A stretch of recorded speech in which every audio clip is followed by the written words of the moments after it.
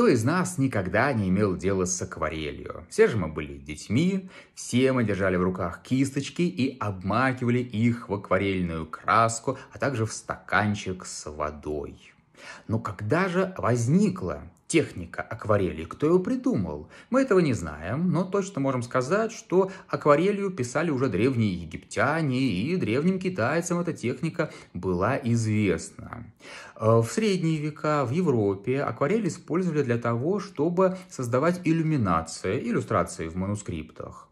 В более позднее время художники обращались к акварели как к подсобной э, или подготовительной ученической технике. Самостоятельное значение она начала получать, обретать где-то на рубеже 18-19 веков. Чудесные акварели сохранились от Уильяма Тернера, великого английского пейзажиста.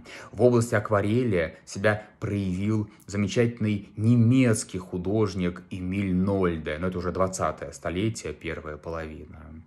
Обратимся к творчеству Альбрехта Дюрера, одного из величайших мастеров акварели. Дюрер – художник эпохи Возрождения. Жил он в Нюрнберге, путешествовал в Италию, и акварель ему была нужна для чего? Для того, чтобы изучать натуру. Вспомните хотя бы дюровского зайца, которого сегодня можно увидеть и на подушках, и на футболках, и на кружках, и где угодно еще.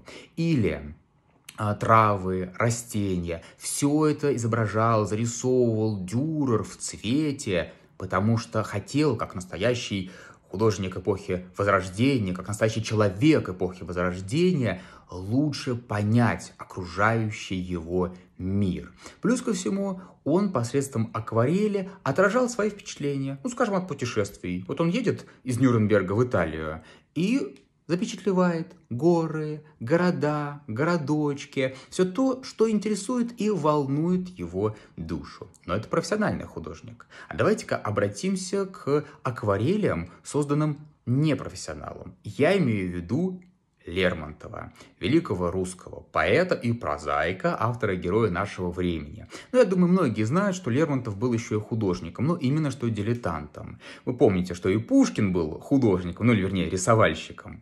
А рисунки Пушкина вдохновляют кинематографистов, или вернее, аниматоров, а, в частности, Андрея Хржановского, но Пушкин э, не акварелист, он все-таки использовал перо и чернила и рисовал на полях. Ну вот когда мысль не идет, вдохновение как будто бы иссякло или застопорилось, можно какой-нибудь комический или вполне серьезный профиль набросать на полях. Лермонтов был все-таки, ну, какие-то, наверное, амбиции живописные имел, потому что он не только чернилами что-нибудь там на полях набрасывал, он работал с масляными красками, он создавал пейзажи, портреты, рисунки, ну и какое-то количество, несколько десятков акварелей от него осталось. Опять же таки, это пейзажи, которые выражают его личные впечатления, а, его восхищение горами Кавказа и людьми, которые обитают на Кавказе.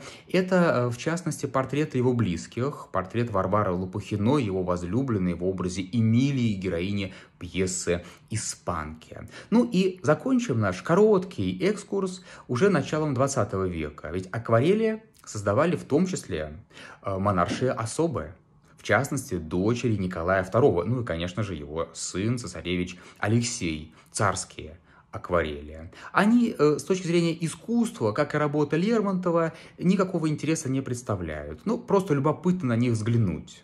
Э, ну, все знают Анастасию, фильмы, мультфильмы про нее снимают. А вот можно не только ее на фотографии увидеть, но и полюбоваться ее детскими и подростковыми акварелями. Этот пример нас возвращает к началу моего короткого спича, когда я говорил о нашем детстве. Мы брали в руки кисточки и акварельные краски. И этим же занимались дочери царя, последнего русского царя. Соответственно, акварель и сегодня, э, в отличие от более сложной масляной техники, каждому из нас, будь то царь или какой-нибудь, не знаю, интеллигент или дворник, акварель каждому из нас дает возможность почувствовать себя художником и посредством искусства выразить свой внутренний мир.